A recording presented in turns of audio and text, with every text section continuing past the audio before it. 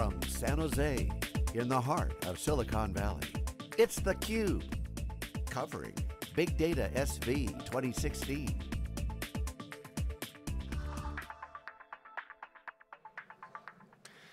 Hi, every, uh, everyone. Uh, we're welcome back. Uh, this is George Gilbert. We're at uh, Silicon Valley um, Big Data. Uh, this is uh, running alongside Strata and Hadoop World. And we have a very special guest with us today, Kostas Tzoumas.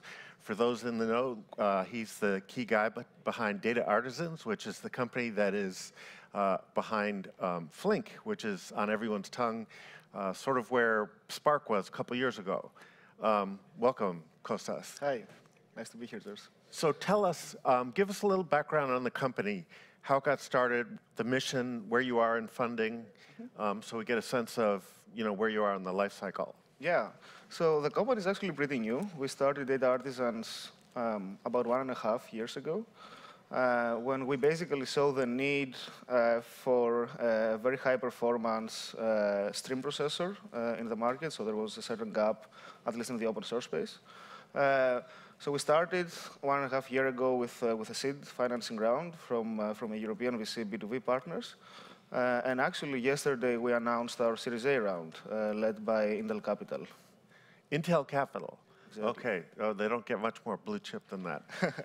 so, all right, so tell us, stream processing has been on the top of everyone's mind. Absolutely. Let's, let's start at the top. Why is stream processing so topical now?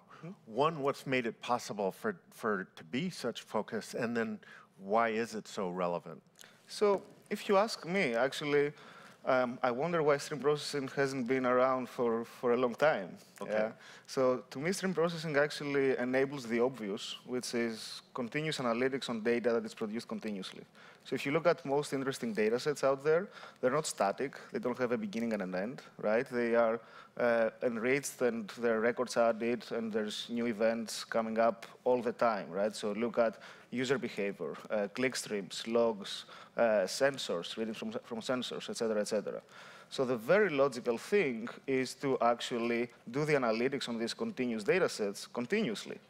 Uh, now, the funny thing is that uh, until recently, the, the assumption of all the tools uh, in the infrastructure was that data has a beginning and an end, what people used to call sort of bats. Yeah? So I think what is different now is that, number one, the rate of change is much higher. So especially with new uh, data sets coming in like Internet of Things uh, and you know uh, lots of user activity, the rate of, the rate of change is much higher. Uh, and uh, a lot of companies want to move to real-time decisions uh, on demand, so they, they really want to you know, give answers to the customers immediately without delay. Is it, is it fair to say that we've sort of had two modes of computing for 50, 60 years, like batch or request response, meaning the online? That's right. And so I mean, this, this need for continuous processing, I mean, it's been around for a while. What made it really sort of take off? Was there some catalyst for it that you can identify?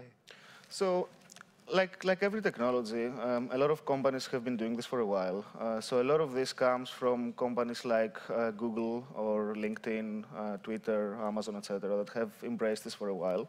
Uh, banks have been doing this for a while, and telcos. Uh, and now the rest of the world is following. So this, so now stream processing is becoming extremely mainstream in the in the whole enterprise.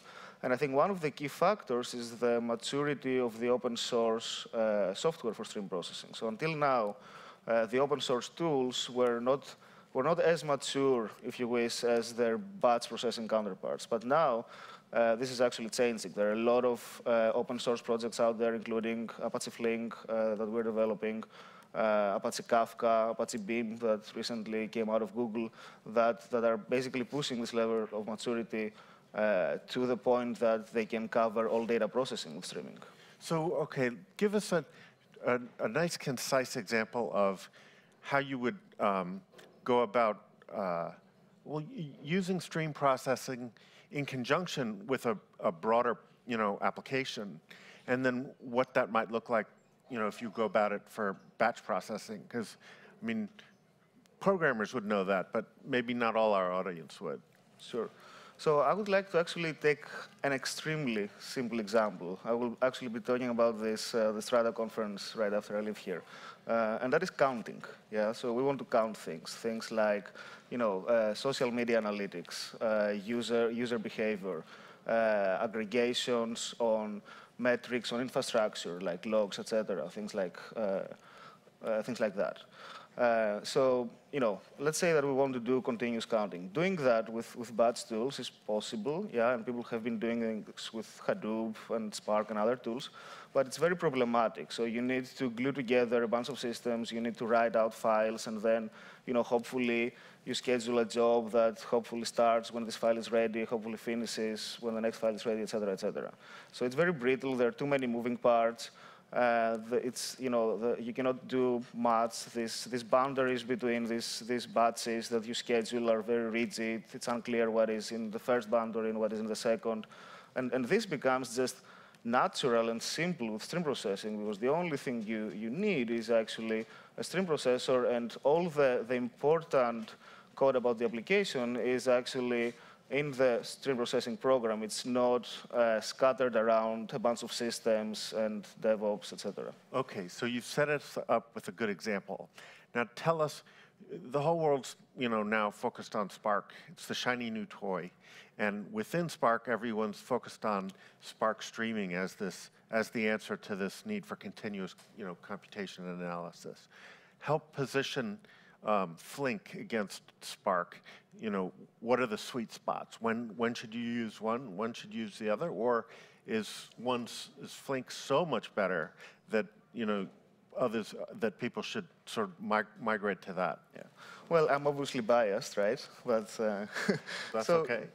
Um, so the way I see it is the following. So both Spark and Flink um, share a commonality, that they're both very broad. They want to cover a lot of types of analytics. So in Flink, we're not doing only stream processing. We're also doing batch processing. Uh, we're also doing a bit of machine learning. We're also doing graph analytics. Spark, the same thing. Uh, so this is the commonality. But, but that said, uh, project uh, has its, you know, uh, really strong points, and, and the market is usually focusing on, this, on the strong points. Uh, so, so Flink is a true stream processor in the sense that you can do event at a time analytics with, with very low latency, a few milliseconds. Yeah, so you can get an event and immediately publish an alert on that. You can do you can do very very rich uh, stream analytics that actually take into account that the streams that you are getting in do not arrive in order. So things that you cannot very easily do with, with other stream processors. So I would say the, the really strong point uh, for Flink and where we see most of the adoption is uh, companies that uh, for, for which streaming is not just a little add-on. So if you're doing like a lot of Spark and you want to do a little bit of ingestion, uh, then you probably would like to do that in the same framework. Yeah. But if, the, if stream processing is really at the core of your infrastructure, uh, then you really you need a, a proper high-performance stream processor do we need, if, if people are really to take advantage of continuous processing and, and stream processing, do they need to rethink how they build their applications end to end? Or is it just like uh, how one part might communicate with another part? So there, there is a level uh, of rethinking um, in the infrastructure from um, storage to compute. So there, there are two main differences. So you need, so with streaming, you embrace the fact uh, that let's say the ground truth um, is the history of the world. So it is all the events that have come since the beginning uh, until now, and it is not, let's say, the state of the world. So you're not trying to capture the state of your business right now, of your whole business, but your ground truth is, is the history. And then every isolated application, microservice, etc., is building its own uh, local state. That is the first thing.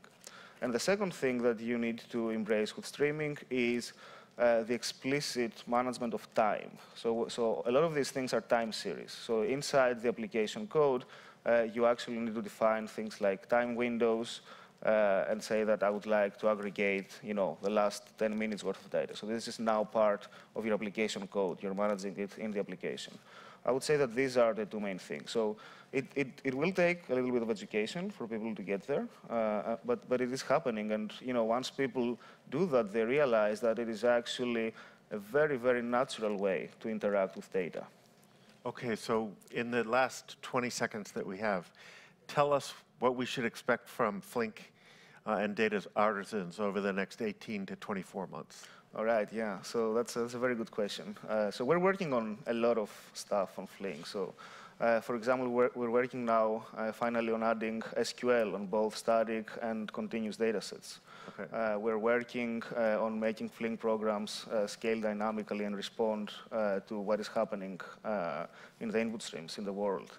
And I mean, you can see all that stuff in the roadmap. It's actually, there's a lot of features.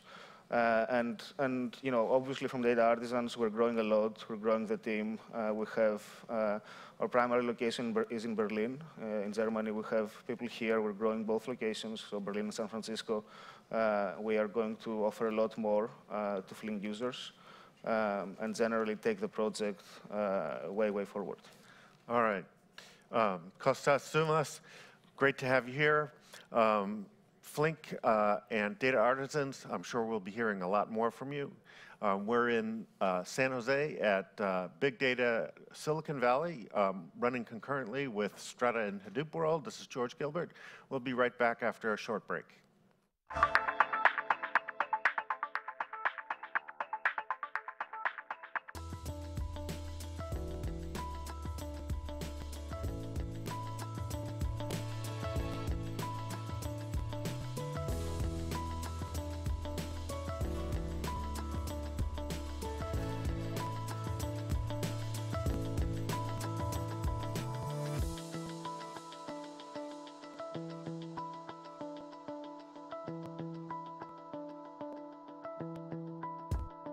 フフフ。